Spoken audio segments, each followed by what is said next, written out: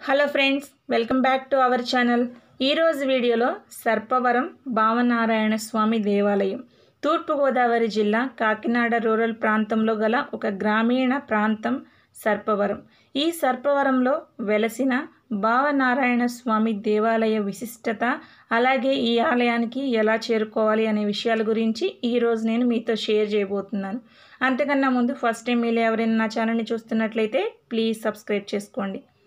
సర్పవరం తూర్పుగోదావరి జిల్లా కాకినాడ రూరల్ ప్రాంతంలో గల ఒక గ్రామీణ ప్రాంతం.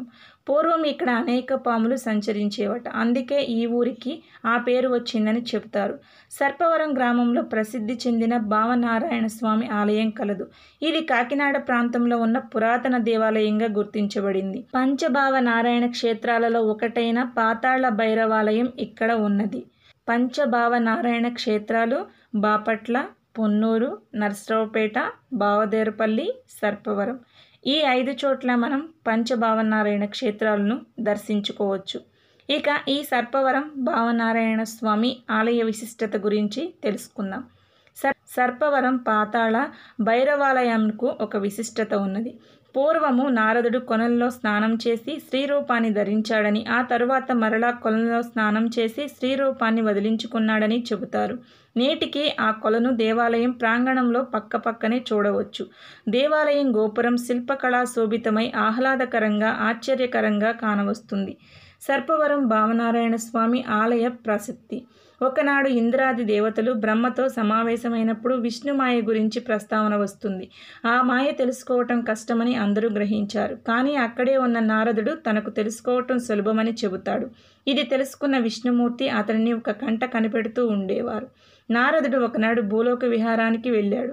సంధ్యా సమయం కావటంతో నీటి కొనంలో దిగి స్నానము చేయగా అతడు స్త్రీ రూపాన్ని ధరిస్తాడు. ఒడ్డున పెట్టిన వీణ కమండలం కనిపించకుండా పోతాయి. శక్తులన్నీ నశిస్తాయి. ఏమి చేయాలో పాలుపోక భూలోకంలోనే ఉండిపోతాడు నారదుడు. స్త్రీ రూపంలో ఉన్న నారదుడిని చూసిన పిఠాపురం నికుంఠ మహారాజు మోజుపడి వివాహం చేసుకుంటాడు. ఆ తర్వాత జరిగిన శత్రురాజుల యుద్ధంలో అతను మరణిస్తాడు. స్త్రీ రూపంలో ఉన్న నారదుడు అడవుల్లోనికి పారిపోతాడు.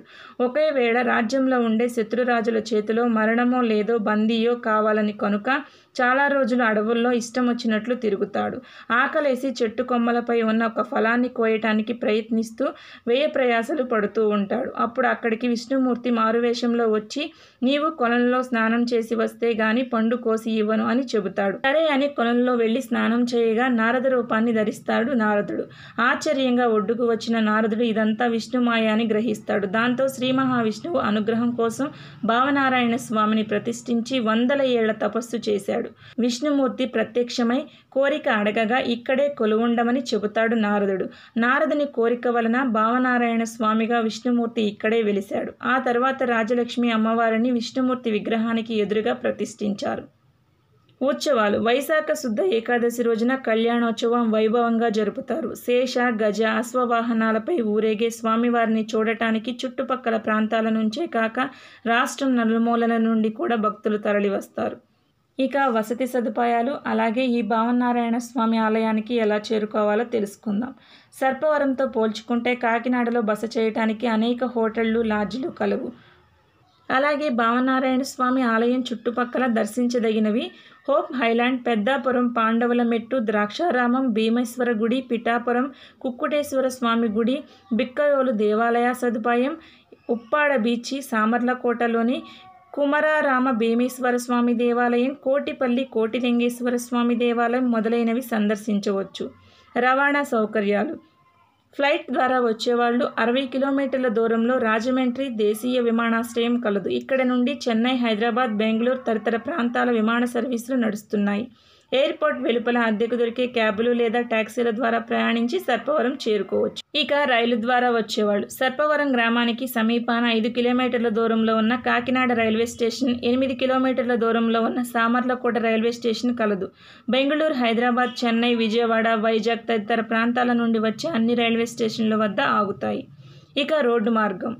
కాకినాడకు హైదరాబాద్ వైజాగ్ విజయవాడ రాజమండ్రి బెంగళూరు చెన్నై తదితర ముఖ్య పట్టణాల నుండి ప్రభుత్వ ప్రైవేటు బస్సులు కలవు. కాకినాడ నుండి ఆటోలలో ఎక్కి సర్పవరం భావనారాయణ స్వామి ఆలయానికి చేరుకోవచ్చు. సో చూశారు కదా ఈరోజు వీడియోలో సర్పవరం శ్రీ భావనారాయణ స్వామి ఆలయ విశేషాలు. ఈ వీడియో మీకు నచ్చినట్లయితే ఒక చిన్న లైక్ చేసి మీ ఫ్రెండ్స్కి రిలేటివ్స్కి షేర్ చేయండి. అలాగే ఇలాంటి మరిన్ని ఇన్ఫర్మేషన్ వీడియోస్ కోసం తప్పకుండా ఈ ఛానల్ని సబ్స్క్రైబ్ చేసుకోండి. పక్కనే ఉన్న బెల్ బటన్ని ప్రెస్ చేశారంటే నేను ఎప్పుడు వీడియోస్ పెట్టినా మీకు నోటిఫికేషన్ అనేది వస్తుంది. మీరు ఎప్పుడు ఫ్రీగా ఉంటే అప్పుడు నా videos చూసేయచ్చు. Thanks for watching. Bye